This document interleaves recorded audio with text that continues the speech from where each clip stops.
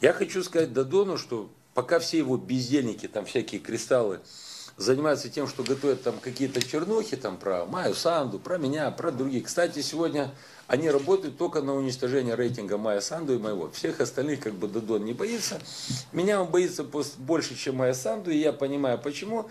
Потому что если мы с Дадоном окажемся во втором туре, там, он там вчера там исполнял, вот кандидат сидит один из тех, кто будет во втором туре, сидит перед вами. Ой, я не знаю, что останется от Дадона, если я выйду с ним во второй тур. Потому что Майя Санду, э, она честный человек. Да, у нас с ней разные абсолютно методы и мнения о том, как побороть коррупцию в стране. Ну, Дадон где-то с Майей Санду может ее там где-то задвигать, где-то массой там давить на нее.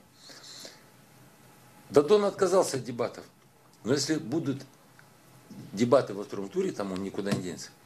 Я выйду с Дадона во второй тур, я выйду с ним на первые же дебаты, а Дадона не останется даже фарша. Понимаете? Ну, то есть просто я его разорву, потому что мне ему есть что сказать.